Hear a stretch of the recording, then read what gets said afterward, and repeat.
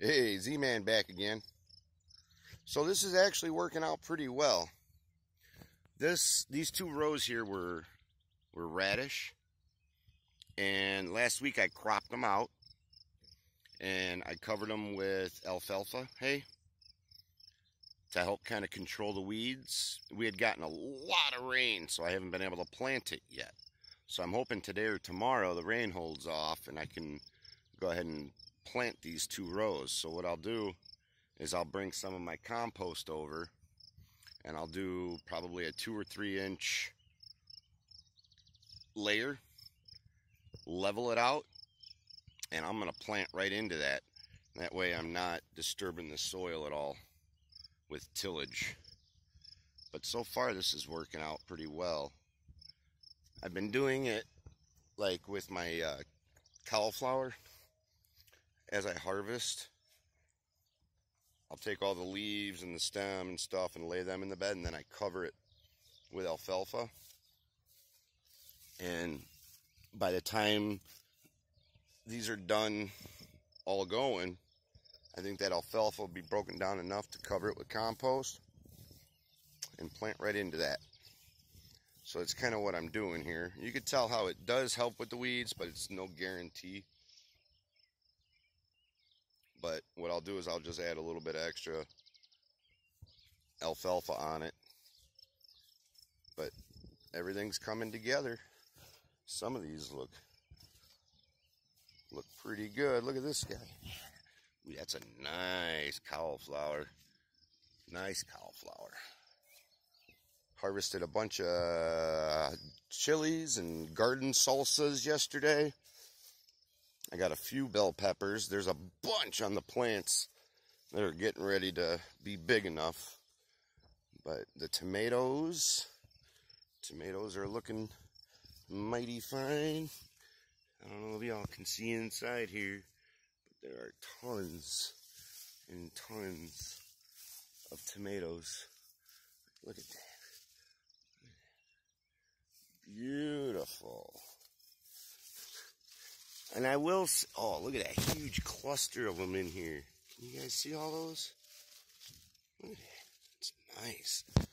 I will say, I, I'm not 100% set on this Alabama weave latticing here, or uh, trellising. I mean, I like the concept. It is easy, especially when you have a lot of tomatoes.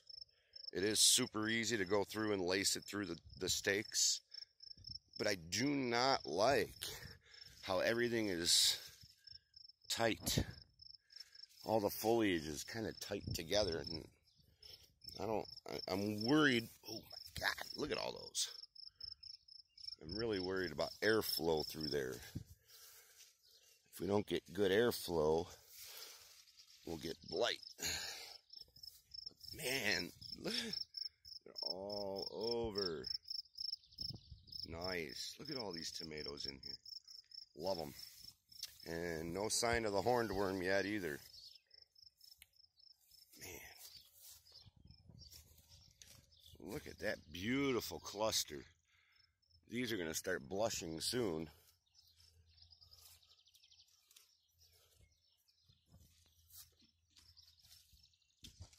Nice. Let's go look at the beef steaks.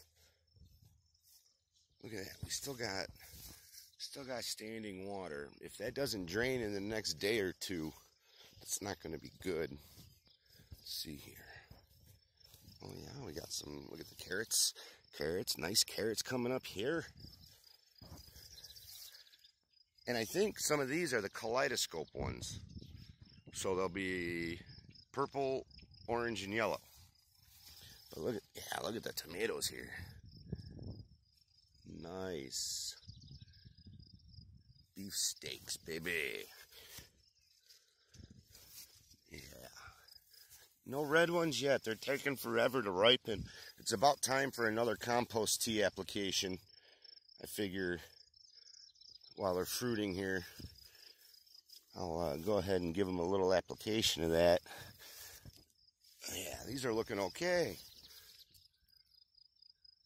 Nice big ones. These are the beefsteaks, so these get big. They say average weight's about a minimum of a pound per on these, so they look healthy. Anyways, till the next episode, everyone. Later, y'all.